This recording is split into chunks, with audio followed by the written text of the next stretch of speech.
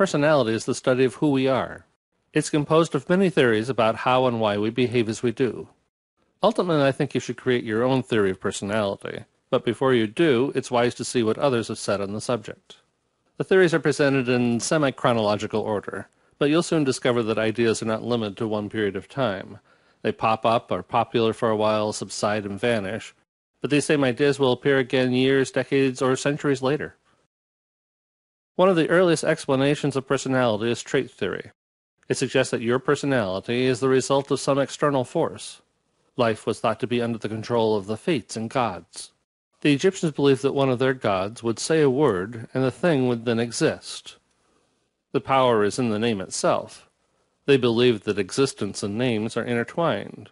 You will live as long as your name is spoken, but when people stop saying your name, your existence is wiped out. Parents carefully chose a name lest they tempt the fates. Consequently, naming a baby Sloth would be unacceptable, while naming a child Brave or Mercy would produce a person that held that trait. Naming a girl Beautiful Woman would result in her becoming beautiful. Names are both descriptive and predictive. In a related practice, your name would be converted into numbers, and those numbers were lucky or unlucky for you. This belief in numerology was often tied to solar or lunar cycles. As the sun crosses the sky in its yearly orbit, it would pass various constellations. The moon and planets were also part of the zodiac system, and altogether these lights guided, influenced, and determined our destiny. The Chinese developed their zodiac about 3,500 years ago. It incorporated five planets, the months, and later on the tide. This 60 year cycle explained what you are like, who to marry, and what will happen in the future. Your outer animal is determined by the year in which you are born. The 12 animal signs are rat, ox, tiger, rabbit, dragon, snake, horse, sheep, or goat, monkey, rooster, dog, and pig or boar. The animal for your year of birth indicates how others view you. But how the others see you is also moderated by the location of five major planets Venus, Jupiter, Mercury, Mars, and Saturn. Each planet has a corresponding element gold, wood, water, fire, and earth, which influences your animal sign. In combination with the 12 years, there are 60 years in a full cycle. The last full cycle began in 1984, and the next one begins in 2044. And it's actually more complicated than that.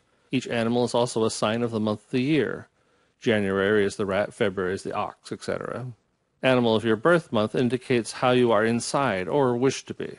In addition to this inner animal, the two hour block of time in which you were born is your secret animal. So altogether, five elements, 12 years, 12 months, and 12 periods of the day give 8,640 possible combinations. My outer animal is ox, my inner animal is the tiger, but my secret animal is the dragon. And yet there is more. Did I mention that the Chinese zodiac calendar is lunar? It doesn't start with January 1st, it starts with Chinese New Year's Day, which varies from year to year. So even though you're born in January, you might not be born under the sign of the rat. You could be a pig. And don't forget the yin-yang cycle as well. Odd years are yin, and even years are yang. This is a very complicated system designed to take into account the complexities of human personality, and yet tie it to the stability of the universe. About the time of Confucius, Hippocrates was explaining to the Greeks that personality types, humors, were based on four essential body fluids. A balance of the four fluids, yellow bile, phlegm, black bile, and blood, kept one in good humor. A bit too much blood, sanguine, makes one confident and brave, too much makes someone arrogant, impulsive, and unpredictable. A bit phlegmatic makes one easygoing. Too much makes one sluggish and lazy. A bit of yellow bile, choleric, gives one energy and passion. Too much makes one aggressive and bad-tempered.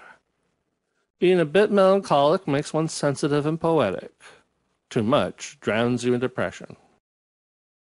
Ancient approaches often emphasize temperament over character, Temperament was thought to be the built-in characteristic a person has. You might have a generally sad person, melancholy, or happy, sanguine. This temperament doesn't mean you can't be honest, character, but describes your general bent. If you're a morning person, it's the result of temperament. If you go to an early morning class, even though you are a late night person, it's a reflection of your character.